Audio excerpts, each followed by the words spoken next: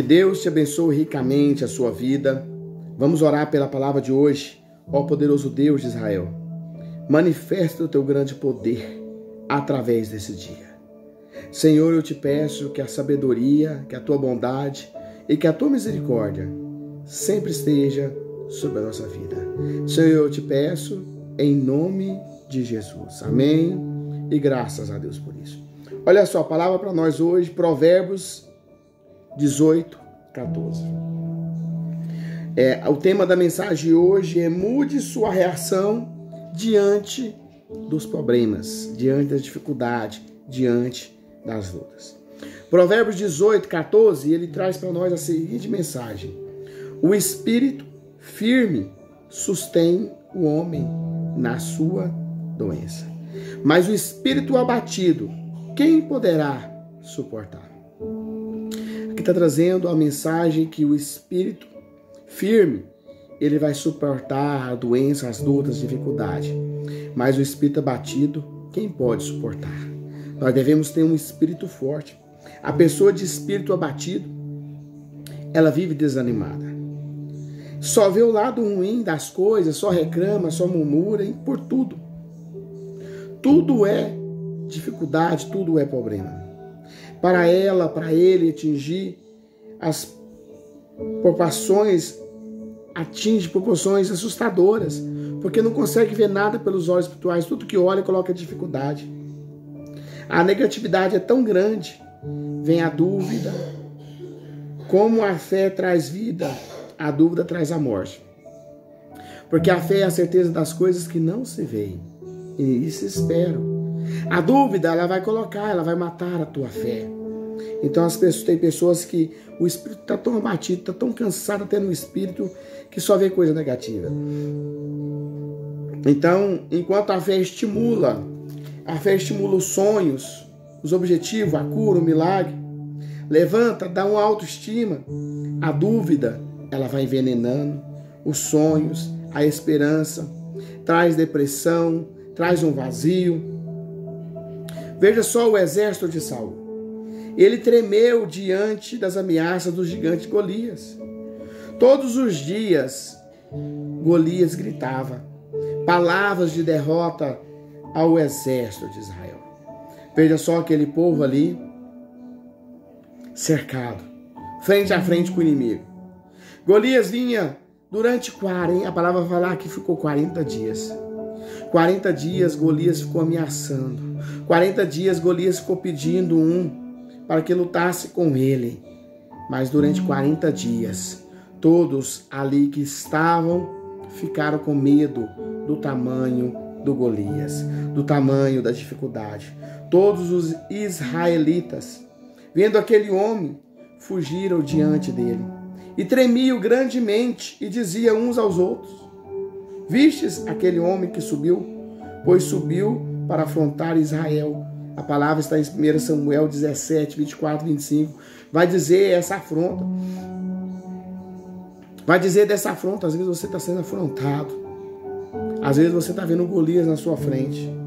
Às vezes você não tem força para lutar. Mas veja, isso é o espírito desanimado, aquele povo de Israel. Mas Davi não tinha força física, não tinha capacidade. Davi não tinha ali as, o preparo que eles achou que deveria ter para guerrear. Mas o seu espírito era firme, o seu espírito era confiante no Senhor. Ao ouvir a ameaça, a sua reação foi: Quem, pois, olha o que Davi diz: Quem, pois, é este incircunciso filisteus para afrontar o exército, o Deus vivo? 1 Samuel 17, 26, ele diz: Quem é? Quem é você que está afrontando o exército do Deus vivo? Quem é você, Golias? Quem é? Quem é? Enquanto eles viam com o exército de Israel, Davi veio como o exército de Deus vivo. Olha só, Saul com o exército todo comendo. Davi só olhou e falou assim: quem é esse circunciso para afrontar o Deus vivo? Ele não perguntou quantos soldados, qual era a tática, ele sabia que quando o espírito é forte, quando a confiança é forte, quando a fé é forte, tudo cai por terra. Então ele conhecia a própria afronta de Deus. Então ele decidiu ir à batalha. Ele decidiu lutar, decidiu perseguir. A firmeza do espírito de Davi vinha na certeza que Deus estava com ele. Nós temos que ter certeza que Deus está conosco, Deus está contigo. Qualquer que seja o espírito de Davi, vinha a firmeza que sustentava, que sustentava ele, que é essa firmeza que nós devemos ter para Deus nos sustentar. O espírito abatido transformou valentes, valentes soldados em frouxos. Olha aqueles soldados, quantas guerras que Saul já tinha vencido com medo de Golias, mas todos ali ficaram frouxos diante do Golias. Um garoto, pastor de ovelha, rejeitado pelos irmãos, rejeitado pela família, só ficava no campo, menor de idade, um garoto. Ele venceu a batalha.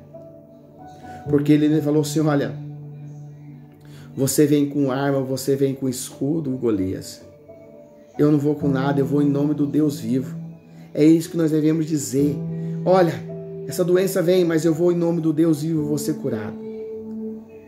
É isso que nós devemos entender, que o Deus vivo ele está conosco para vencer todas as batalhas. Veja só, venceu. Davi venceu porque tinha um espírito firme. Enquanto você olhar o tamanho do, da sua dificuldade, o tamanho da sua luta, o tamanho dos seus problemas, não sairá do seu lugar. Mude a reação aos problemas. Firme o seu espírito o que se levanta contra, contra quem é Deus, levanta contra o próprio Deus. Fala assim: olha, você se levantou contra mim, mas eu levanto em nome do Deus vivo. Em nome do Deus vivo, olha só, ali Moisés, Moisés naquele momento ali, no meio do deserto, quando Deus fala com ele, fala assim: quem eu vou falar que é? Quando o povo perguntar quem és tu, quem eu digo? Deus diz: oh, diga que eu sou. Deus disse para Moisés: Eu sou. Sabe por quê? Deus diz assim: Olha, eu sou o que vai tirar do deserto. Eu sou o que vai te curar. Eu sou o que vai resgatar a tua vida, resgatar a sua saúde, sua vida financeira. Eu sou o que vou te salvar. Eu sou o que vou entregar o filho. Quando Moisés ali pergunta, Deus diz: Eu sou. Eu sou. Deus é e ele vai vencer esta batalha, porque essa batalha, como se diz, eles vêm com armas, com tudo, mas nós, em nome do Deus vivo, do Deus de Israel, nós vamos vencer todas essas batalhas. Vamos orar. Ó poderoso Deus de Israel, Deus, eu te peço que a tua bondade, a tua misericórdia sempre esteja sobre a nossa vida. Manifesta agora, Senhor. Pai querido, que Neste momento, Senhor, o Senhor venha dar sabedoria, entendimento e compreensão. Pai querido, que as batalhas, as lutas se levantaram diante da vida de cada um, mas em nome do Deus vivo, em nome do Deus do exército de Israel, em nome do Deus de Isaac, Jacó, em nome do meu Deus, eu clamo, Senhor, esta batalha Deus já venceu. Eu declaro a vitória sobre esta luta, sobre essa dificuldade, sobre esse relacionamento, sobre esta vida financeira. Eu declaro, Senhor, a vitória, Senhor, sobre a saúde. Eu declaro, Senhor Deus, a cura, o milagre de todas as enfermidades e que tudo seja para a tua honra e para a tua glória, Senhor. Pai, eu lhe peço que dê uma noite de descanso, de paz, que esse irmão possa ter esse final de semana um descanso, confiando, entendendo que o Senhor já preparou o amanhã. Pai querido, nos proteja, nos guarda e que a tua rica misericórdia e bondade sempre esteja sobre a nossa vida, sobre a nossa família e sobre o nosso lar. Pai, visita cada um de uma forma diferente, com teu poder, venha manifestar a tua graça. Neste momento, ó Deus, eu te peço, em nome de Jesus. Amém. E graças a Deus por isso. Que Deus te abençoe ricamente a sua vida. Amém. E graças a Deus por isso.